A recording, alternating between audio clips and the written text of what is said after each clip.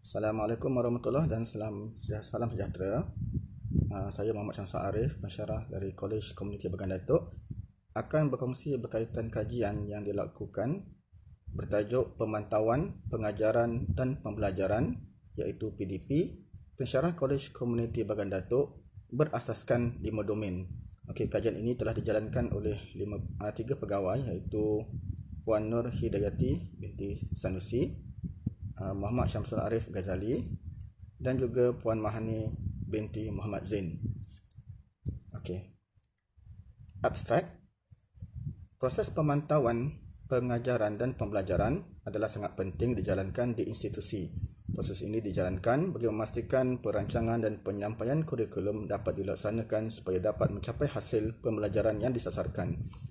Kajian ini bertujuan bagi menganalisis penilaian pemantauan yang telah dilaksanakan oleh pegawai penilai yang dilantik terhadap pensyarah di bawah seliaannya.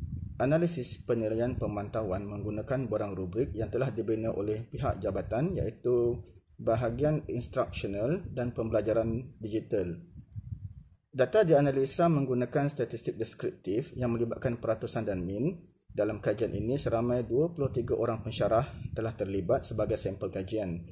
Hasil dapatan menunjukkan setiap domain yang telah dinilai mempunyai peratusan min yang tinggi. Rumusannya, proses pemantauan pensyarah merupakan, merupakan platform yang baik bagi mengukur tahap kepuasan pelanggan. Ia juga boleh dijadikan kayu pengukur dalam menambah baik sistem penyampaian PDP secara berterusan bagi setiap program pengajian. Okey, jadi untuk kata kunci adalah pembelajaran dan pengajaran iaitu PDP, pemantauan, pensyarah, kompetensi, OBE, CQI dan juga kurikulum. Pengenalan Pemantauan pembelajaran dan pengajaran iaitu PDP merupakan salah satu aktiviti bagi memantau proses PDP yang dilaksanakan oleh pegawai penilai yang dilantik kepada para pensyarah bagi memastikan penyampaian kurikulum berjalan dengan lancar. Penilaian pemantauan akan dilaksanakan oleh ketua jabatan ataupun ketua program terhadap pensyarah di bawah selian masing-masing. Proses pemantauan akan dilaksanakan kepada setiap pensyarah sekurang-kurangnya setahun sekali. Kepentingan pemantauan ini dilaksanakan bagi mencapai beberapa perkara yang menjadi penanda aras dalam menentukan keberkesanan dalam aktiviti penyampaian pengajaran. Dalam proses PDP, aktiviti pemantauan dapat di, dapat mengukur perancangan dan penyampaian kurikulum dilaksanakan bagi mencapai hasil pembelajaran yang disasarkan. Aktiviti ini sekaligus dapat memastikan pemantapan amalan outcome-based education dalam kalangan pensyarah dan pelajar. Hasil daripada dapatan pemantauan ini juga dapat menambah baik, menambah baik proses PDP dalam program pengajian secara berterusan. Selain itu, dapatan ini juga dapat menjadi input kepada program peningkatan kompetensi dan profesionalisme pensyarah. Lima domain yang dinilai. Okey, domain pertama persediaan pembelajaran dan pengajaran. Domain ini bertujuan bagi memastikan pensyarah dapat merancang pembelajaran pengajaran dengan persediaan, rapi bagi meningkatkan keberkesanan pengajaran khusus. Terdapat tiga kriteria bagi domain ini iaitu penyediaan file rekod pensyarah, penyediaan rancangan mengajar dan juga penyediaan course learning outcome um, maaf, course outline iaitu CO. Domain 2, pelaksanaan outcome based education OBE dalam PDP. Bagi domain 2, pensyarah perlu mempraktikkan dasar, prinsip dan amalan PDP terkini dalam menyokong pembelajaran pelajar.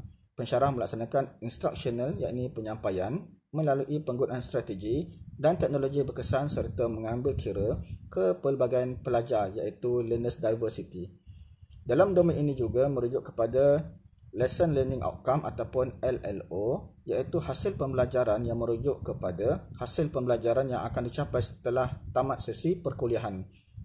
Domain kedua ini merujuk kepada empat konstruk iaitu set induksi, penerangan LLO, komunikasi efektif, pengajaran interaktif, penggunaan sumber pendidikan, pelaksanaan penilaian formatif rumusan PDP dan refleksi PDP terdahulu.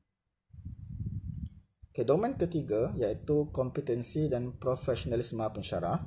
Dalam domain tiga, pensyarah diukur dari segi pematuhan etika kerja, dan amalan nilai positif dan mewujudkan keyakinan dan kepercayaan pelajar terhadap pensyarah. Pensyarah akan dilihat dari segi penguasaan ilmu, yakni kemahiran yang berkaitan khusus yang uh, dalam penyampaian konsep dan fakta yang tepat. Profesionalisme pensyarah sangat penting sebagai contoh teladan baik kepada pelajar.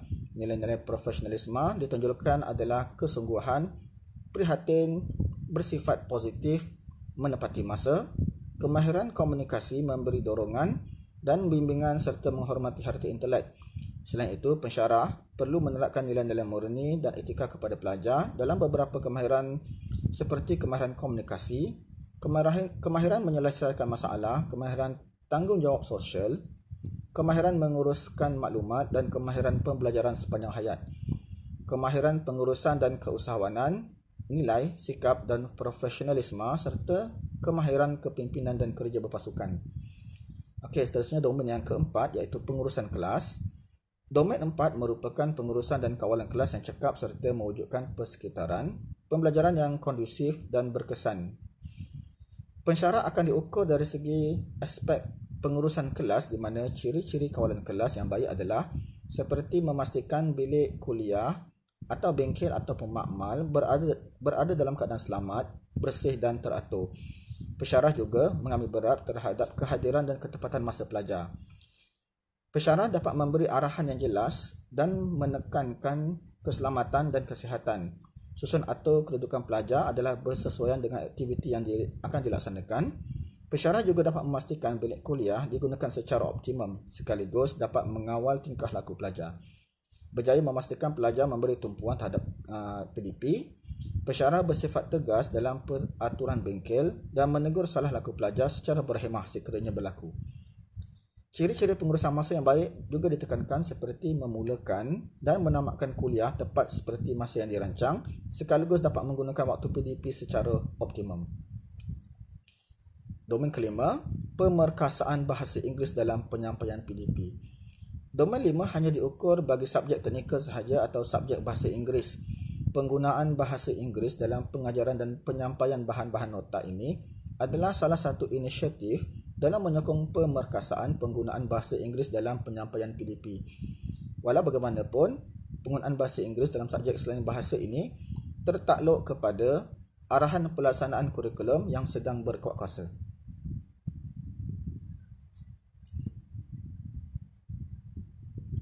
Bagi memastikan pelaksanaan PDP pesyarah berfungsi seiring dengan perkembangan semasa, maka pelaksanaan pemantauan PDP harus dilaksanakan dengan terancang dan teratur agar ia mampu mendorong pesyarah untuk melaksanakan tugas dengan lebih berkesan. Pendekatan bimbingan harus ditekankan agar sebarang tindakan penambahbaikan berkualiti, berterusan ataupun CQI dapat dibuat. Pelaksanaan pemantauan PDP ini juga harus dilihat oleh pesyarah sebagai satu kaedah penilaian diri agar teknik PDP sentiasa ditambah baik dan disesuaikan dengan suasana pembelajaran masa kini.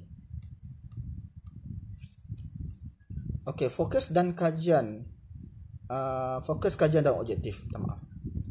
Objektif kajian ini adalah untuk mengenal pasti proses pemantauan pesyarah yang dinilai Input daripada aktiviti ini dapat menggalakkan penambahan berterusan, penambahbaikan berterusan dalam proses penyampaian kurikulum manakala fokus objektif khusus. Bagi kajian ini adalah yang pertama, mengenal pasti tahap persediaan pensyarah dalam proses pembelajaran dan pengajaran iaitu PDP, mengenal pasti tahap pelaksanaan OBE pensyarah dalam proses pembelajaran dan penguasaan pengajaran PDP, mengenal pasti tahap kompetensi dan profesionalisme pensyarah dalam proses pembelajaran dan pengajaran PDP, mengenal pasti tahap kecekapan pensyarah dalam pengurusan kelas, mengenal pasti amalan penggunaan bahasa Inggeris pensyarah dalam proses pembelajaran dan pengajaran iaitu PDP.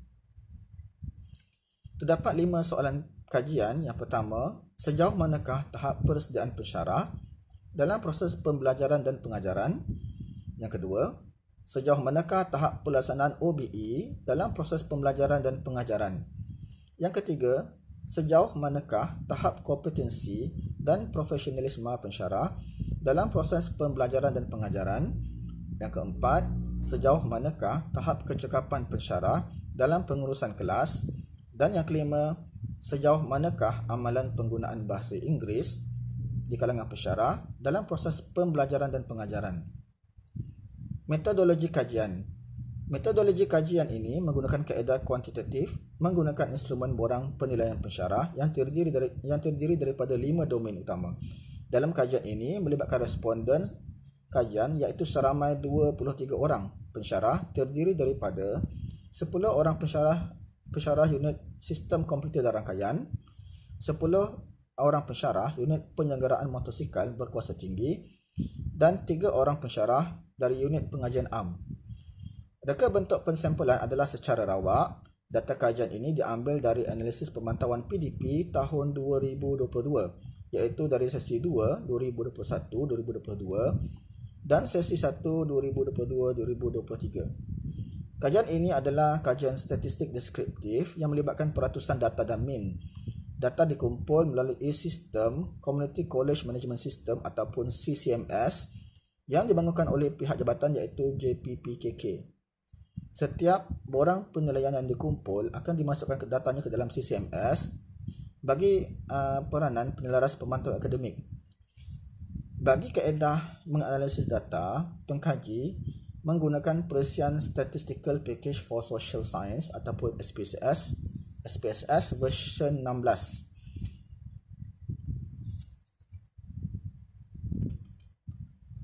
Okey, berikut adalah jadual satu yang memaparkan proses pengumpulan data di dalam Community College Management System atau CMS. Jadi ini adalah sampel uh, yang telah diambil nilainya uh, beserta domain-domain yang dinilai iaitu ada domain 1, domain 2, domain 3, domain 4 dan domain 5 serta jumlah uh, markah yang telah diambil daripada purata um, pemarkahan di sat, uh, domain 1, domain 2, domain 3, domain 4 dan domain 5. Okey, untuk sampel-sampel yang uh, ada uh, markah bagi domain 5, maka hasil tambahnya adalah uh, hasil tambah di 1, di 2, di 3, di 4 dan di 5. Okey, sementara bagi contoh sampel 4 yang mana tidak ada markah bagi domain 5, hasil uh, markah jumlah tersebut diambil daripada domain di 1, tambah domain di 2, tambah domain di 3, tambah domain di 4 dibahagikan dengan 10 uh, dibahagikan dengan 90 iaitu total markah bagi domain 1 sampai di 4 dan kemudian didarabkan dengan 100 maka hasilnya adalah 92 dan begitu seterusnya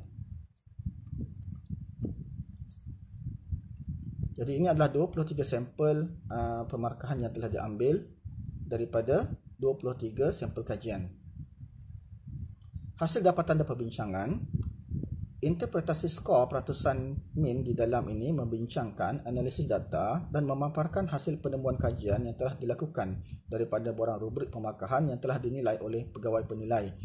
Data yang diterima telah diproses bagi mendapatkan statistik seperti nilai purata dan sisihan piawai.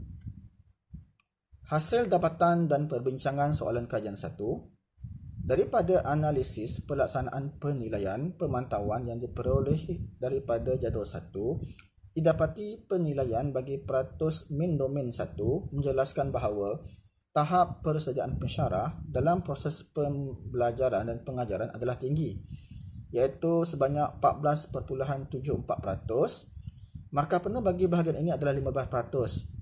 Tiga kriteria utama yang dinilai dalam aspek ini iaitu penyediaan file rekod pensyarah, penyediaan rancangan mengajar RM dan juga penyediaan course outline ataupun CO.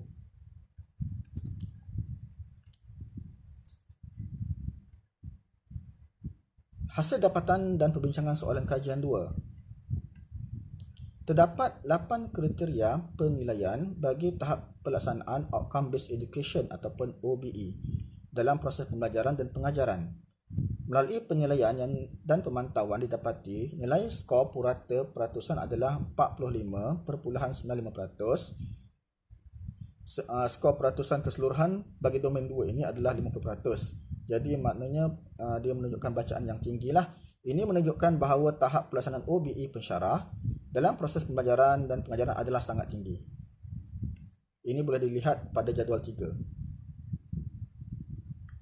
Dengan uh, standard deviationnya adalah 2.14. Hasil dapatan daripada bincangan soalan kajian 3 berdasarkan jadual 4 Ketiga kriteria daripada penilaian tahap kompetensi iaitu penguasaan ilmu, pengetahuan, penonjolan nilai-nilai profesionalisme dan penerapan nilai-nilai murni dan etika di dalam kelas mencapai nilai purata peratusan iaitu 14.78%. Nilai purata keseluruhan bagi tahap ini adalah 15%. Uh, Jadi ini menunjukkan bacaan yang sangat tinggi. Ini menunjukkan tahap kompetensi dan profesionalisme pensyarah dalam proses pembelajaran dan pengajaran adalah tinggi pada jadual uh, 4 kita boleh lihat uh, minnya adalah 14.78 sementara standard deviationnya adalah 0.42 hasil dapatan dan perbincangan soalan kajian 4 daripada jadual 5 menunjukkan tahap kecekapan pensyarah dalam pengurusan kelas juga adalah sangat tinggi. Ini berdasarkan skor minimum peratusan iaitu 9.7% di mana nilai keseluruhan adalah 10% dan sini kita boleh nampak pada jadual 5 standard deviation adalah 0.54 uh, kita boleh nampak memang dari segi pengurusan kelas pensyarah uh, adalah amat baiklah. Hasil dapatan daripada pembincangan soalan kajian 5 bagi penilaian pensyarah uh, terhadap penggunaan bahasa Inggeris iaitu hanya terlibat uh, yang terlibat adalah pensyarah-pensyarah yang mengajar bahasa Inggeris dan juga pensyarah yang mengajar teknikal bahasa Inggeris uh, hanya 10 pensyarah terlibat bagi teknikal dan seorang uh, pesyarah untuk bahasa Inggeris. Berdasarkan kat jadual jadual 6, uh, minimum peratusan adalah 8% dari total keseluruhan 10%. Ini menunjukkan tahap penggunaan bahasa Inggeris adalah tinggi lah. Walau bagaimanapun penggunaan bahasa Inggeris yang digunakan dalam kelas sebenarnya tidak begitu menyeluruh kerana mengambil kira tahap pencapaian pelajar dan juga tahap pemahaman pelajar kerana pelajar kolej komuniti ini uh, secara umumnya mereka hanya uh, lulus sahaja jadi maknanya uh, bukan dari kalangan mereka yang cemerlang bahasa Inggeris lah. Namun penggunaan bahasa Inggeris uh, tetap juga dibudayakan dalam kelas teknikal bagi membiasakan para pelajar kolej komuniti ini untuk memahami istilah-istilah terutama istilah-istilah teknikal uh, dan juga istilah-istilah kejuruteraan lah. Ini boleh dilihat pada jadual 6 di mana kita boleh lihat min untuk uh, domain 5 ini adalah 8 sementara standard deviation adalah 1.3 ok rumusan penilaian pensyarah ini merupakan satu platform mengukur tahap kepuasan pelanggan iaitu pelajar dalam menerima perkhidmatan pendidikan penilaian pensyarah ini juga dapat membantu para pensyarah menambah baik kaedah pengajaran dan pembelajaran dalam kelas sebagaimana besarnya aspirasi ketua pengarah kami iaitu Dr. Haji Muhammad Zahari bin Ismail dalam ucapannya supaya menggalakkan pembentukan pensyarah yang kompeten iaitu graduan kualiti amanah kami, pensyarah kompeten izah kami, polisisi wadah kami, memacu destinasi Malaysia, Madani. Tanda aras penentuan domain ini dapat mengukur kompetensi pensyarah. Bagi pensyarah yang kurang kompeten pada bahagian tertentu, uh, pihak unit latihan di college community akan mengambil tindakan untuk uh, melaksanakan latihan yang sesuai bagi meningkatkan kompetensi para pensyarah tahap penggunaan bahasa Inggeris juga perlu dititik beratkan kerana penggunaan penggunaannya pada masa kini sebenarnya adalah agak amat relevan terutama bagi saja-saja teknikal lah. Walau bagaimanapun pekaji mencadangkan supaya kajian lanjutan dijalankan bagi melihat hubung hubungan penilaian pensyarah dan juga penilaian ah, pelajar terhadap pensyarah. Uh, kerana secara umumnya ada dua jenis penilaian yang dilakukan terhadap pensyarah. Pertama adalah penilaian yang dilakukan oleh pegawai penilai dan lagi adalah penilaian daripada pelajar sendiri terhadap pensyarah mereka masing-masing. Kajian berkaitan dengan hubungan kompetensi pensyarah dengan pecahan pelajar dalam subjek tertentu juga sesuai dijalankan bergantung kepada impak yang perlu ditambah baik dalam proses PDP. Selain itu, penilaian daripada peer review iaitu rakan-rakan pensyarah juga amat digalakkan bagi menambah baik kaedah pengajaran. Hal ini sekaligus dapat membantu pensyarah mengurang, uh, membuat refleksikan diri terhadap pengalaman mengajar serta mengenal pasti kelebihan atau kekurangan sendiri pada masa mendatang. Kesimpulannya, penilaian dan pemantauan pengajaran dan pembelajaran penting untuk memastikan kualiti pengajaran dan pembelajaran menjadi lebih baik dan efektif. Dengan mengambil langkah-langkah yang tepat, pensyarah akan dapat meningkatkan kerjaya mereka bagi memastikan masa depan yang lebih baik dalam dunia pembelajaran dan pengajaran. Okey, itu saja daripada pihak kami. Uh, daripada saya Muhammad Syamsul Arif dan juga ahli saya uh, Puan Nur Hidayati Sanusi dan juga Puan Mahani Mazin. Okey, Assalamualaikum warahmatullahi Terima kasih.